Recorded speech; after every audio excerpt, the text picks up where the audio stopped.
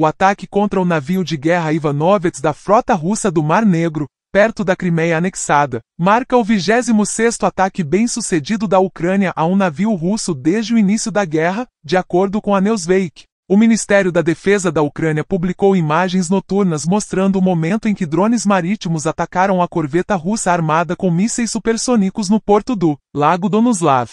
Não está claro se houve vítimas. O meio de notícias russo independente The Insider informou que desde que o presidente russo, Vladimir Putin, tentou invadir a Ucrânia em 24 de fevereiro de 2022, pelo menos 26 navios russos foram atacados pelas forças de Kiev. A frota do Mar Negro tem sido alvo da Ucrânia enquanto tenta reverter a anexação da Crimeia por Putin em 2014.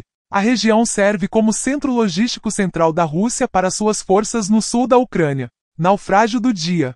O Ministério da Defesa da Ucrânia disse em comunicado, acrescentando que a operação para destruir o navio foi realizada por soldados das Forças Especiais do Grupo 13 da Ucrânia. O grupo foi auxiliado pelo Ministério da Transformação Digital da Ucrânia e pela plataforma United 24, disse a diretoria principal de inteligência da Ucrânia. Como resultado de uma série de impactos diretos no casco, a corveta foi danificada, rolou para a popa e afundou. O valor do navio é de aproximadamente 60 dólares a 70 milhões, acrescentou o Ministério da Defesa. Bom trabalho, guerreiros! De acordo com o Telegram Ribar russo, a Ucrânia desdobrou pelo menos nove drones navais que deixaram a região ocidental de Odessa em direção à Crimeia, e quatro deles foram destruídos pelas forças russas. Um deles explodiu próximo ao navio de guerra Ivanovets, danificando-o.